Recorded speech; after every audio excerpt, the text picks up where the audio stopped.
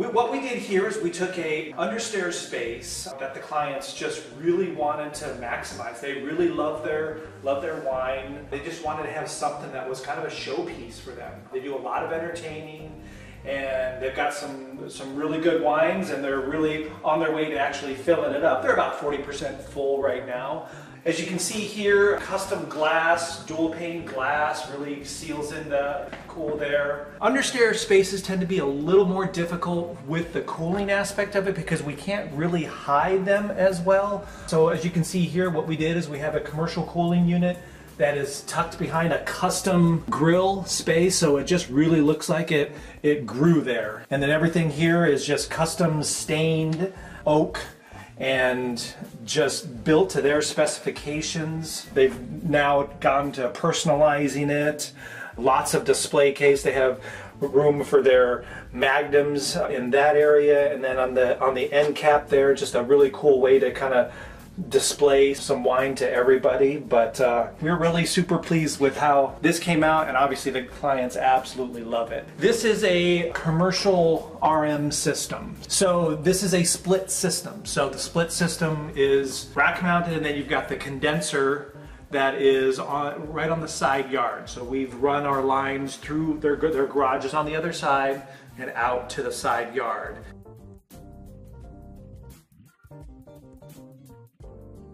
Every job obviously starts with a you know uh, inspiration or, or a space that they're, they're wanting to go through.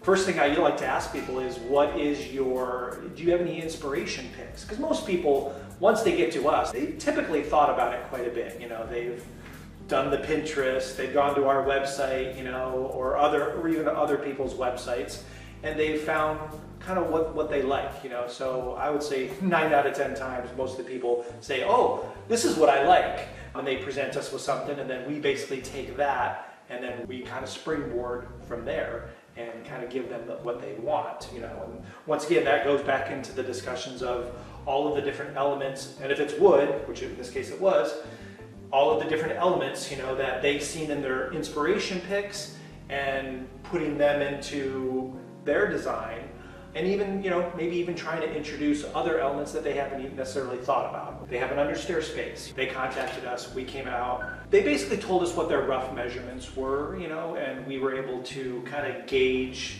what the layout was going to be. And then kind of at the first thing I like to do is I kind of like to give people ballpark budgets of what things are cost. Because there are a lot of people that really don't have concepts of what what building a wine cellar truly is you know? And I always like to remind people you're basically building a very large refrigerator so they're not inexpensive you know? So um, in this case once we kind of decided that the budget was where they wanted to be and then I started to show them some different kinds of cellars that we have done and basically what we like to do is we like to clue in on a lot of the different elements within a wood. That's the other aspect is we, we clued in that they wanted wood cellar. So we try and find out what their eyes visually like within their cellar. In this case, they didn't like diamond racking, but they did like having bottles displayed. There's this combination of volume versus display. In this case, you know, we, we decided like have an open, we, I, I love doing open spaces in the middle of, just because it gives you, as you can see here, what they did is they displayed some of their stuff that has meaning to them, decanters, you know, it, it ranges, you know. So once we got all of the design aspects of it down, then it was just a matter of putting it into production. And in the meantime, we had to deal with all of the cooling aspects of it. And so with an understair space, cooling it can be a little bit of a challenge because there's usually no place to put to hide a cooler. So in this case, our cooling design, you know, we had to basically build our racking around the cooler. Part of our, what we do is we, we do everything related to a cellar. I mean, we do all of the insulation because that's a huge component of building a, a cellar is you, it has to be fully insulated, otherwise it's just not going to work properly, you know, and it's going to cost you money. So dual pane insulated glass in metal frames, that's, that's pretty much a must for any cellar. Closed cell spray foam behind the walls, install the cooling system, install the racking, and that's where we are today. So all of our uh, cooling systems are, are, installed by licensed HVAC tech technicians that focus only on cooling, you know, on wine cellars because wine cellars are a completely different beast than a, a regular traditional HVAC system, you know.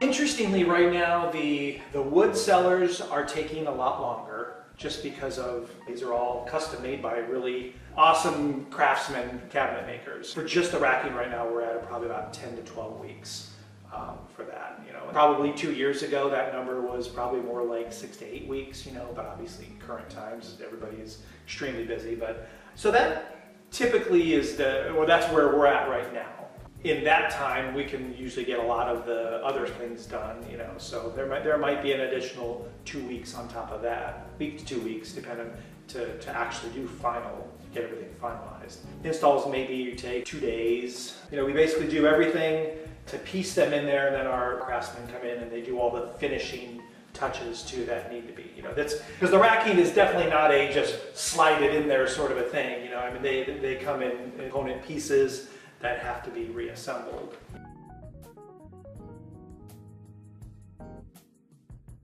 First of all, the wood, it's, okay, what what kind of wood do you really do you want? Do you want a, a, more hardwood? You want something maybe that is maybe a little bit more on the cost efficient side? If somebody is having a really dark finish stain that they ultimately want, I don't necessarily recommend them going with higher end woods because you're going to be doing a dark stain anyways. If you're doing a lighter stain where you're going to see more of the natural wood elements to it, then yeah, you probably would want to go with a higher end oak, walnut, something like that.